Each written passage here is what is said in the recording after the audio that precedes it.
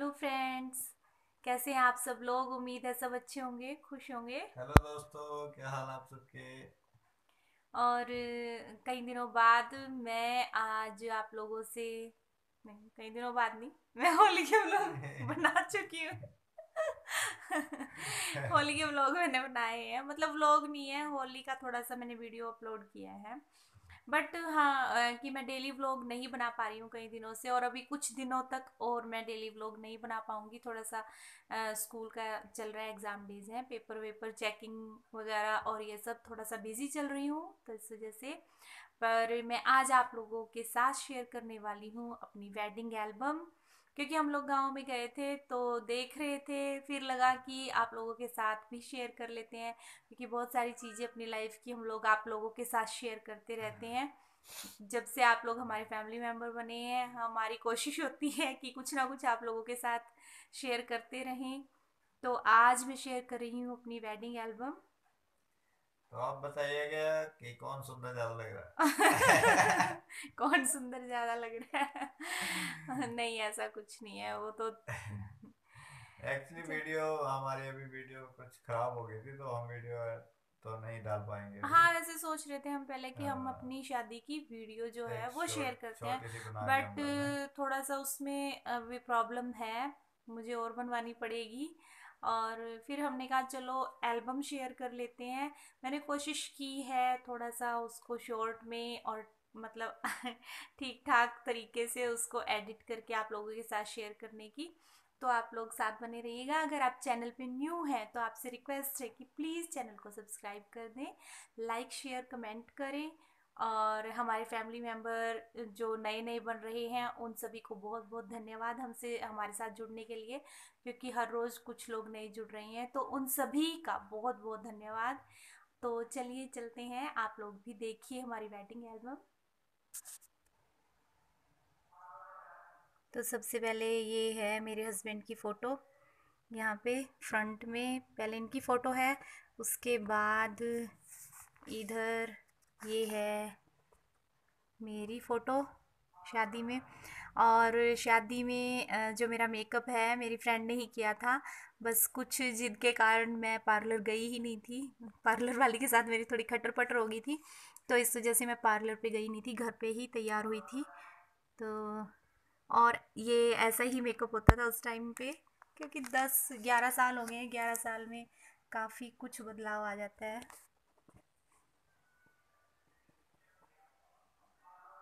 एक ये फ़ोटो हमारी।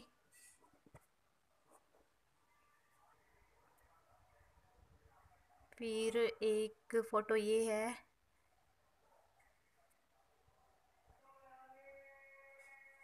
इस तरीके से फ़ोटो सेशन होते थे, तब फोटोग्राफर अजीब जीव से पोज बनवा के करवाते थे। जैसे वो बोल देते थे, ऐसे ही हम लोग भी बना लेते थे ना। आजकल फिर भी फ़र्क है। जो अब लड़कियाँ हैं, वो बिल्कुल सारा मतलब फ़ोटोशूट जो अपने अकॉर्डिंग कराती हैं। यहाँ पे है इनकी वो एक होती है ना मंडे की रस्म मंडा बंधाया जाता है हमारे यहाँ पे तो वो रस्म हो रही है। क्योंकि ये एल्बम जो है हमारे यहाँ की है, मेरे मायके की भी बनी थी, वो अभी मेरे पास नहीं है, मायके में ही है तो ये यहाँ वाली है। और ये हैं पापा जी मतलब मेरे ससुर, और ये हैं ताऊ जी जो दोनों ही अब नहीं हैं हमारे बीच। काफ़ी कुछ एल्बम देखते हुए ऐसे मतलब लोग हैं जो हमारे बीच अब नहीं रहे हैं। और ये इसको मंडा बांधना बोलते हैं।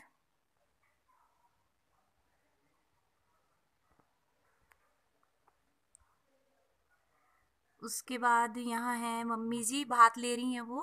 और साथ में जो है पिंक सूट में जो हैं ये वाले जो हैं, ये हमारी छोटी मम्मी जी हैं मतलब मौसी सास मेरी। और ये हैं मम्मी जी। और इधर साथ में है ये दादी लगती हैं हमारे परिवार में। और इधर है मामा जी। अ, हमारे यहाँ भात का होता है रिवाज। जैसे बहुत सारे आ, स्टेट्स में ये होती है भात वाली रस्म तो तो जानते भी होंगे ज़्यादातर लोग। और ये हैं मेरी तीनों जेठानियाँ।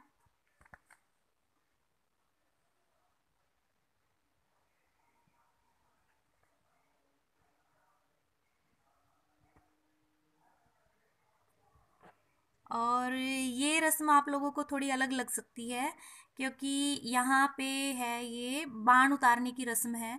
हमारे मतलब मोस्टली लोगों के यहाँ रीति रिवाज होता है कि लेडीज़ ही मतलब चार पाँच दिन पहले बाण लगाती हैं और वही उतारती हैं। बाण की एक रस्म होती है हमारे यहाँ।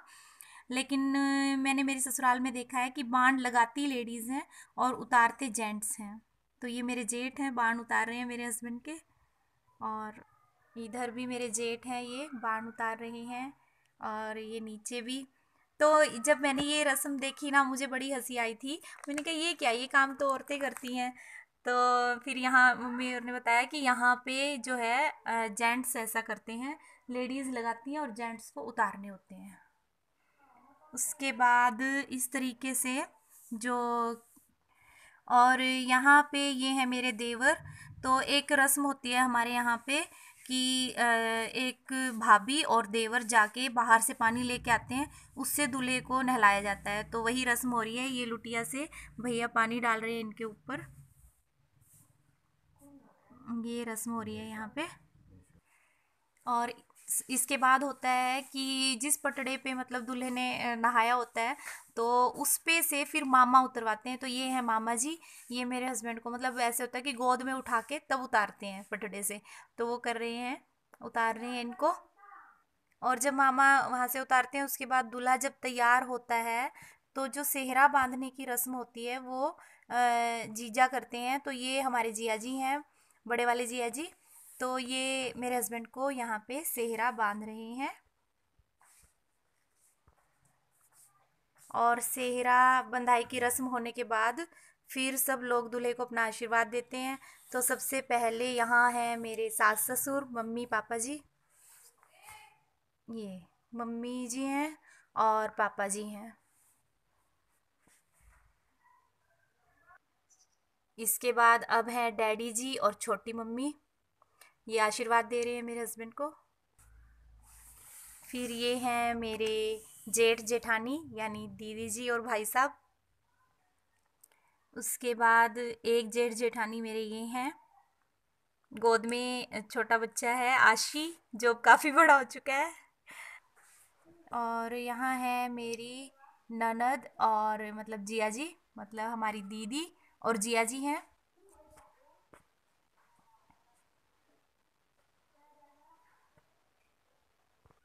और एक ननद मेरी ये हैं और जिया जी हैं साथ में।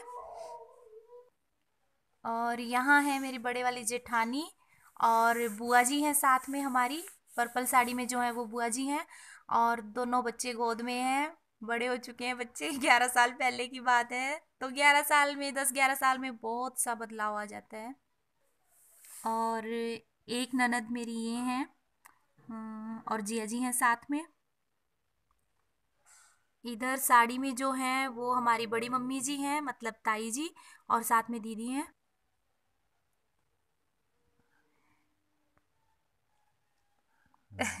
सेहरा बंधाने के बाद फिर होती है काजल की रस्म, जिसमें भाभियाँ जो है दूल्हे को काजल लगाती हैं, ये देखिए। इनकी आँख कैसे हो रखी है। तो इधर दोनों दीदी काजल लगा रहे हैं इनको। और ये वाली हैं, छोटे वाली जेठानी मेरी, अब ये काजल डाल रही हैं। मतलब हमारा, हमारी फैमिली जो है ना, काफ़ी बड़ी है। तो मेरी जेठानियाँ तीनों ने बारी बारी से काजल डाला।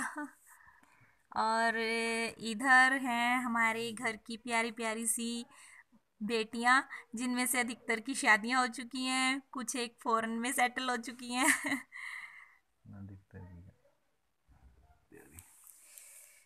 और उसके बाद फिर मंदिर में मत्था टेकने जाते हैं। वैसे घोड़चढ़ी की भी होती है रस्म पर इनकी नहीं हुई थी। ये गाड़ी से ही बस मंदिर में मत्था वगैरह टेक के और सीधे बारात बारात लेके चल दिए थे। तो घोड़े वाला जो है रस्म वो नहीं हुई थी इनकी घुड़चड़ी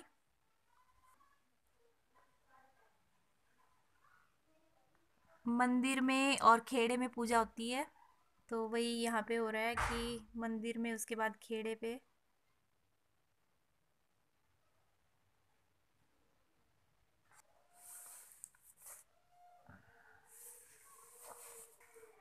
और मंदिर से आने के बाद फिर आ, मम्मी जी और जितने भी बड़े बुज़ुर्ग हैं सबसे आशीर्वाद लेके और फिर ये चल दिए थे।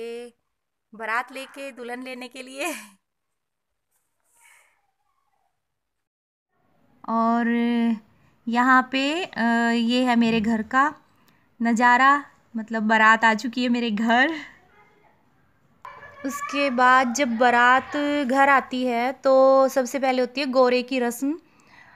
जिसमें मतलब वही लेन देन वगैरह जो भी होती हैं रस्में वो चलती हैं मान सम्मान करना सबका और मिलाई देना।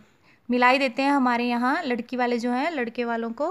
उनका रिस्पेक्ट करते हैं मतलब उनको सम्मान के तौर पे देते हैं कुछ ना कुछ।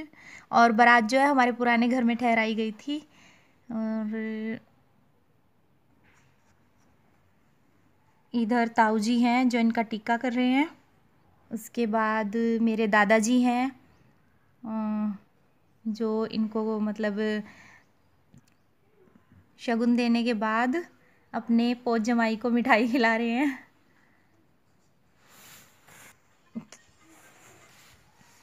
तो इस तरीके से जो घर के बड़े बुज़ुर्ग होते हैं, वो दूल्हे और दूल्हे की फैमिली को मान देते हैं और उनकी वो करते हैं, क्या कहते हैं, मिलनी करते हैं। तो इधर मेरे ताऊ जी हैं जो इनको घड़ी वगैरह पहना रहे हैं, कोई अंगूठी पहनाएगा तो कोई मान देगा, कुछ इस तरीके से होता है रीति रिवाज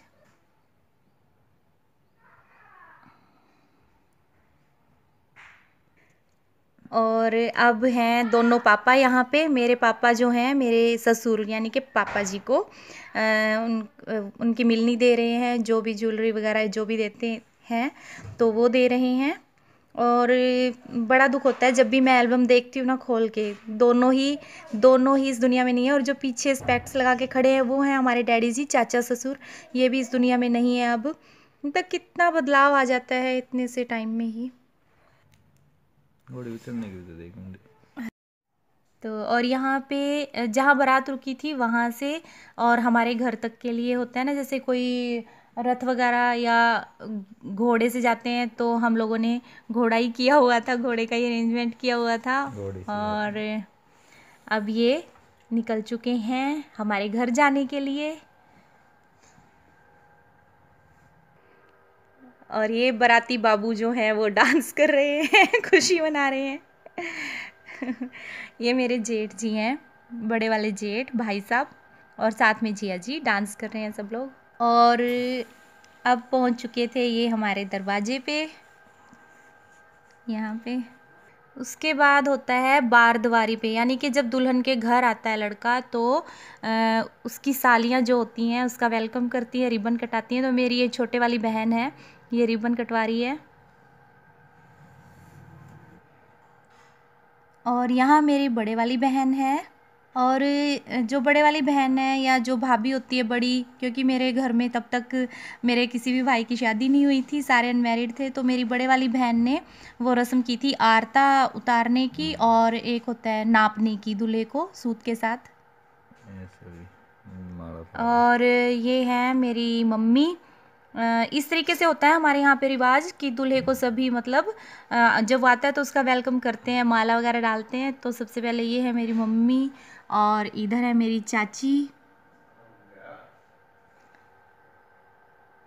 मेरी छोटे वाली बुआ जी हैं। और ये है मेरी बड़े वाली बुआ जी। मैं मैं और यहाँ हूँ मैं और मेरी बहनें हैं, साथ में हैं, मेरी दादी जी बैठी हुई हैं, एक दादी मेरी खड़ी है, वो बड़े वाली दादी हैं मतलब पापा की ताई जी और जो बैठी हैं, ये मेरी दादी हैं, ये भी अब इस दुनिया में नहीं हैं और उस टाइम भी ये काफ़ी टाइम से बीमार चल रही थी तो व्हील चेयर पर ही थी ये तो मैं इनके पास आई थी तैयार होके। और यहाँ है मैं और ये, मैं जब स्टेज पे चढ़ रही थी तो ये उस टाइम की फ़ोटो है हमारी। ये फ़ोटो मुझे रियल में बहुत प्यारी लगती है, बहुत ज़्यादा। और फिर हो गई थी हमारी जयमाला, और उस टाइम मुझे स्टेज पे बड़ा गुस्सा आया था माला को देख के। क्योंकि ना मतलब फूलों की माला ज़्यादा अच्छी लगती है बट यहाँ से ये लोग ये वाली माला लेके गए थे। ये देखने में ही बड़ी अजीब सी लग रही थी ना, टिक रही थी। तो बल्कि भाई हंस रहा था कि हमें बता देते, हम ला देते फूलों वाली। यहाँ से ही ले आते।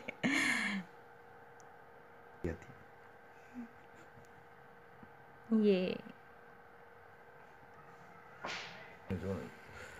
और यहाँ पे माला के बाद फिर हम लोग बैठ गए थे फ़ोटो सेशन कराने के लिए। और दूल्हा जो है वो बहुत ही खुश हो रहा है। दुल्हन। मिलने वाली है दूल्हे को। ये फ़ोटो भी मुझे बड़ी अच्छी लगती है। और यहाँ है मेरे छोटे बहन भाई। सारे बड़े वाली बहन नहीं है इसमें बाकी सारे बहन भाई हैं। इनमें से भी ज़्यादातर की शादी हो चुकी है। और सिर्फ़ इसकी नहीं हुई है और इसकी नहीं हुई है। जितने भी ये छोटे छोटे प्यारे प्यारे क्यूट क्यूट दिख रहे हैं ना सब, सबकी शादी हो चुकी है। सबके मतलब फैमिली है, बच्चे हैं। और यहाँ मेरे मम्मी पापा हैं, आशीर्वाद देते हुए हमें। और पापा तो उस टाइम लगभग रो ही दिए थे। पापा जो है ना मेरे मतलब मेरी शादी वाले दिन पता नहीं कितनी बार रोए होंगे। बहुत। माँ बाप का रिश्ता ही ऐसा होता है ना बच्चे के साथ? ये देखिए पापा।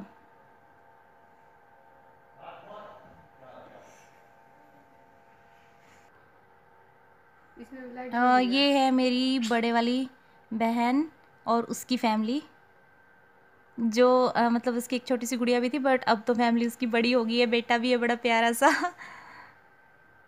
और सबकी शक्लें भी बहुत चेंज हो चुकी हैं। सब मैच्योर हो गए हैं दस साल में, ग्यारह साल में। और बस उसके बाद यहाँ है, हम लोग एक दूसरे को खाना खिला रहे थे।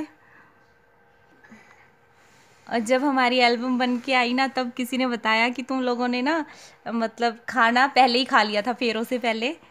तो हमें तो पता नहीं था इस चीज़ के बारे में, ना वहाँ पे किसी ने याद दिलाया था।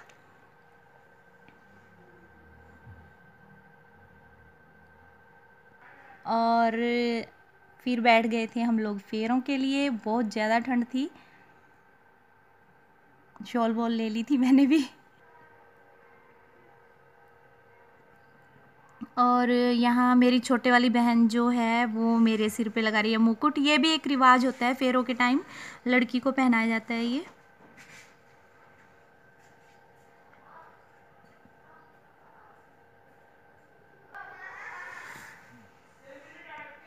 और फेरे हो रहे हैं यहाँ पे।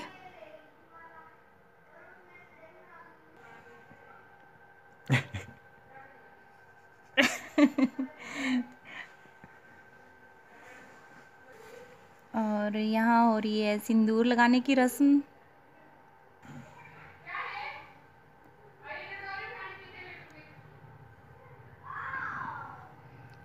और उसके बाद फेरे होने के बाद जो दूल्हा है उसको तिलक करते हैं सारे फैमिली मेंबर्स तो सबसे पहले मेरी दादी से तिलक करवा रहे हैं क्योंकि वो मैं बता रही थी ना आप लोगों को कि वो व्हील चेयर पर ही थी। तो चल फिर नहीं सकती थी तो उनके पास ही आ गए थे ये। और मेरी दादी के तिलक करने के बाद फिर मम्मी, बुआओं ने, चाची, ताइयों ने सबने किया था।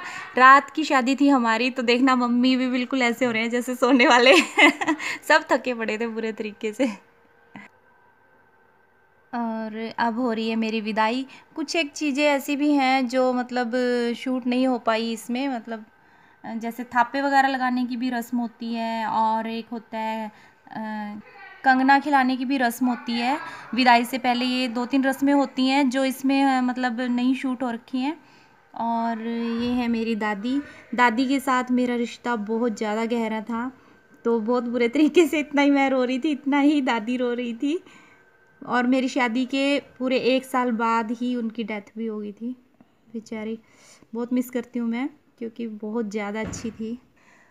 और यहाँ मेरे दादाजी मुझे समझा रहे थे कि तुझे रोना नहीं चाहिए, खुश होके जा ये वो, क्योंकि वो प्रिंसिपल थे और वो बड़ा थोड़ा समझाने पे ज़्यादा ज़ोर देते थे कि घर से खुश खुश जाओ, अच्छी फैमिली मिली है तुझे, ये है, वो है। लेकिन वो टाइम ऐसा होता है कि उस टाइम हम ना किसी की बात पे ध्यान देते हैं, ना हमें कुछ सुनाई दे रहा होता है। बस दिमाग में होता है कि आज के बाद ये घर मेरा नहीं है। पराया हो गया है और बात सच भी है। धीरे धीरे हमें लगता है कि हाँ सच में ही ये घर पराया हो गया है। हम्म, यहाँ है मेरा बड़े वाला भाई और मामा पीछे मेरी बुआ जी हैं। सब लोग उस टाइम तो खैर विदाई का टाइम ही ऐसा होता है। सबकी आँखों में पानी होता है उस टाइम लेकिन क्या करें? नियम है तो जाना भी पड़ता है। और ये हो गई है हैप्पी एंडिंग। ज़िंदगी की नई ज़िंदगी की शुरुआत।